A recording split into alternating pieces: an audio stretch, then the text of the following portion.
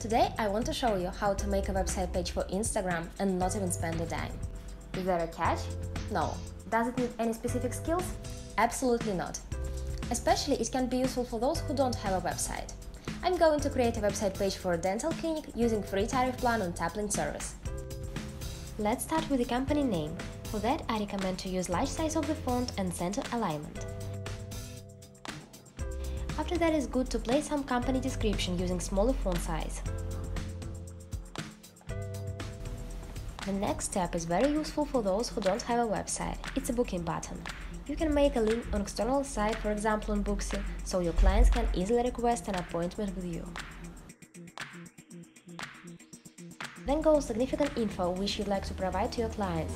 It can be information about the company, its services, working time, address or anything else.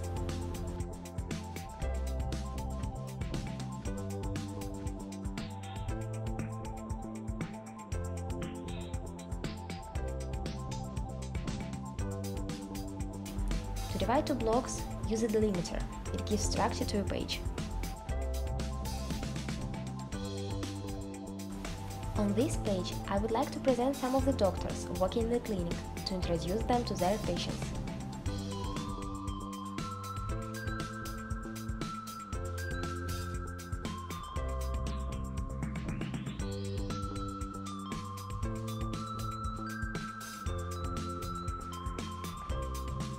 When it's done, we can place contact information. In our case, we have three channels of communication email, phone, and Facebook.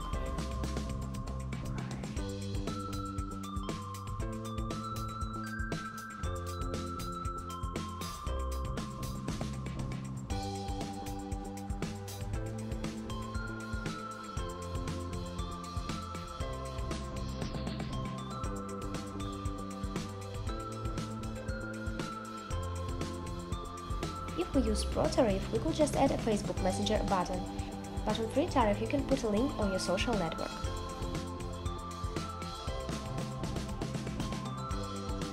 One more thing you can do is to change the style of the page.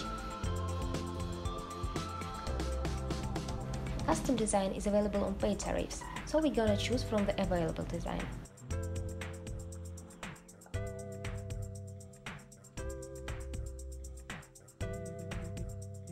I like this one. The page is ready. You can use it as a page for Instagram and not to send your clients on their website, which can be and tricky sometimes. Of course, with all the functions, you could add a map or booking form, but this is also a good starting pack to help your clients easily reach you.